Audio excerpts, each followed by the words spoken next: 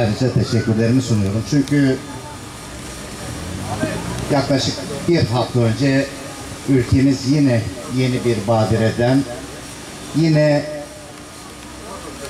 bambaşka oluşumlardan geçerek yaklaşık 200'ün üzerinde evladımızı kaybettiğimiz bir süreç içerisinde bu tür etkinlikler belki de bizi ayakta bir arada tutan en önemli etkenler haline geldi.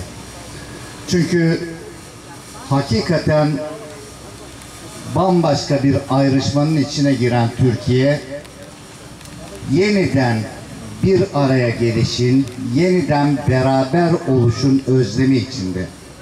Bunu da sağlayacak olan ancak bu tür sanatsal faaliyetler ve sportif faaliyetlerdir.